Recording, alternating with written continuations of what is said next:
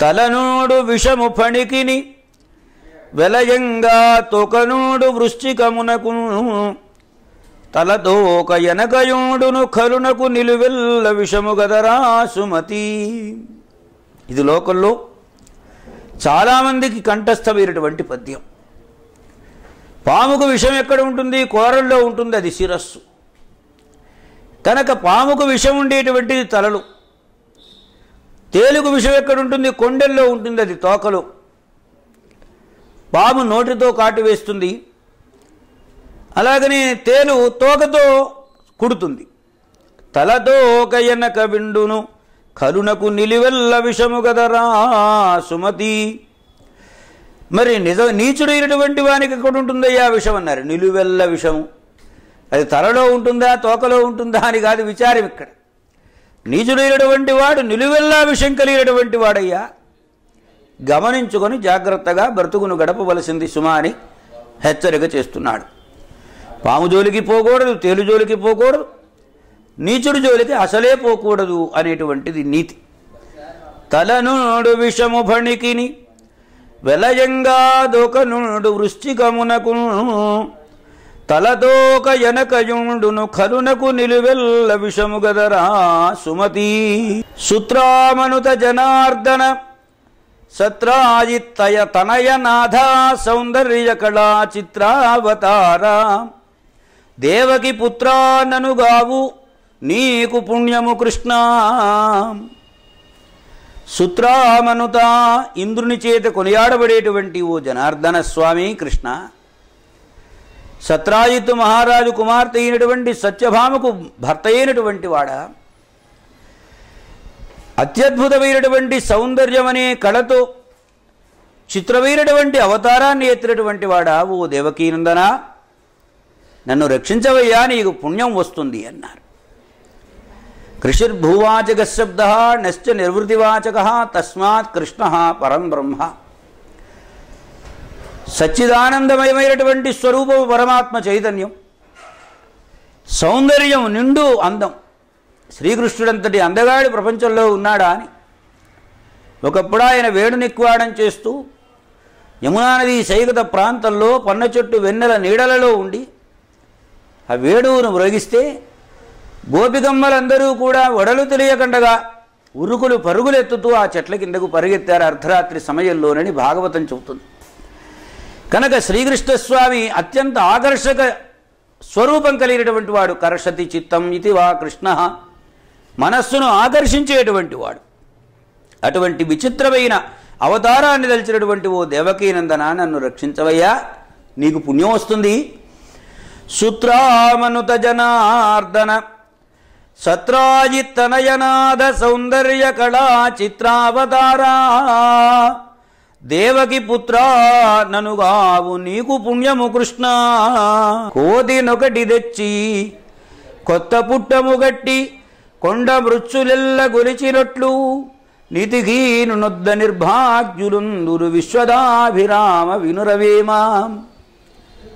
ఏ రంగు పక్షులు ఆ గుడ్డికి చేరతాయి అని ఒక సామెత ఉంది లోకల్లో అలాగనే ఒక కోతిని తీసుకొని వచ్చి దానికి కొత్త బట్టలు కట్టబెట్టి అక్కడ కూర్చోబెట్టి కొండముచ్చులందరూ కూడా మీ సేవకులం మీ సేవకులను ఎదురుగా నాట్యం చేస్తూ ఆ కోతికి సేవలు చేస్తూ ఉంటాయి.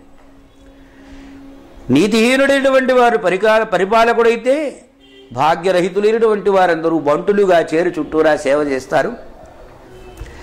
అంటే నీచుడి వద్ద నీచులే ఉంటారు సత్పురుషుడి వద్ద సత్పురుషులే ఉంటారు అని చెప్పడం ఉద్దేశ్యం ఈ పద్యానికి.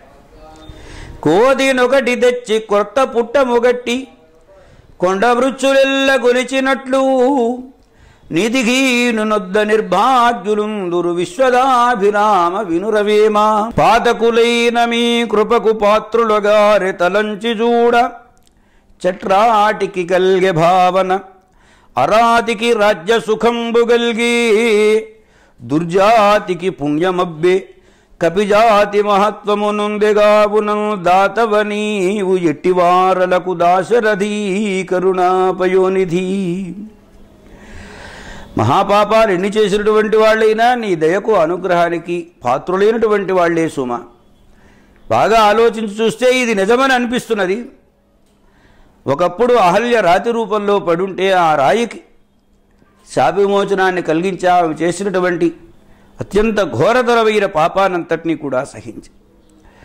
శత్రువు తమ్ముడు కదా అని నీవేమీ అనుకోలేదు అరాతి శత్రువు తమ్ముడైనటువంటి విభీషణునకు రాజ్య సుఖాలను ప్రసాదించాం. ఎక్కడో నది మీద పడవలు నడుపుతూ బ్రతికేటువంటి ఒక దుర్జాతి ఎందు ఆవిర్భవించినటువంటి గుహునివానికి పుణ్యాన్ని తెలియ అభ్య పుణ్యాన్ని అందజేసినటువంటి వాడివి. నీ వల్లనే కపిజాతి యావత్తు కూడా ఓ సుగ్రీవుడు గాని ఓ ఆంజనేయుడు గాని వీళ్ళందరికీ మహత్వం గొప్పదనాన్ని ఆపాదించి పెట్టినటువంటి మహాదాతవయ్యా నీవు.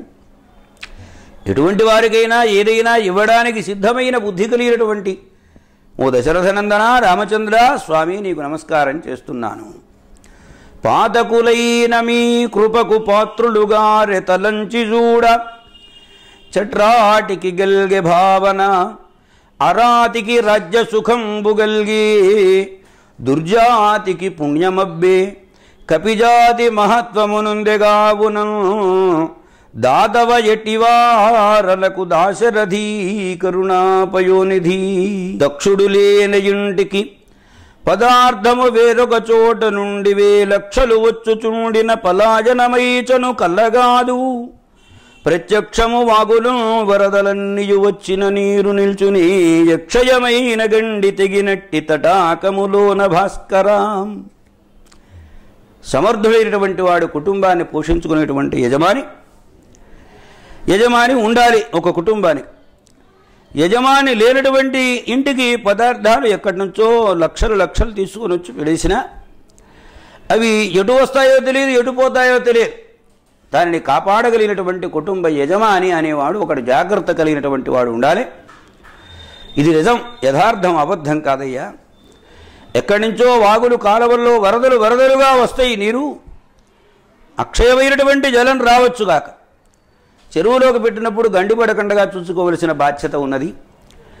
చెరువుకు గండిపడిందనుకో ఎన్నీళ్ళు వస్తే మాత్రమే పైనుంచి ఉపయోగమే ఉంది. అందుకని అందుకనే మన వాళ్ళు వాస్తుశాస్త్ర నిర్ణయం చేసేటప్పుడు సింహద్వారం పెద్దదిగాను దొడ్డి వాకిలి చిన్నది గాను పెట్టుకునేవారు. ఏ ఇళ్ళైనా చూడండి పాత నిర్మాణాలు చేసేటప్పుడు. ఎదురు వాకిలి ఏమో పెద్దదిగా ఉంటుంది దానికంటే చిన్నది అవతలి వాకిలి దానికంటే చిన్నది అవతలి వాలికి ఇలా వాదిట్లో నుంచి వచ్చినటువంటి వాలి చివరి వరకు గాలి ప్రసరిస్తూనే ఉండాలి. అలా ప్రసరిస్తున్నప్పుడు ఏమవుతుందంటే తలుపులు తీసి ఉంటే గాలి లోపలికి వస్తుంది తలుపులు వేసి ఉంటే గాలి లోపలికి రాదు. పెద్ద ద్వారంలో నుంచి గాలి రావాలి.